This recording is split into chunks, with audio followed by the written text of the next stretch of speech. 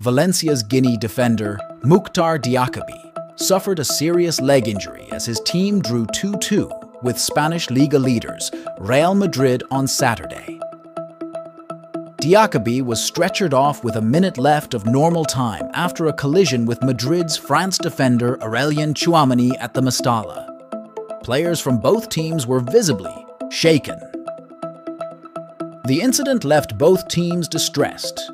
The match ended controversially when a late potential winner by Jude Bellingham was disallowed, sparking protests from Madrid.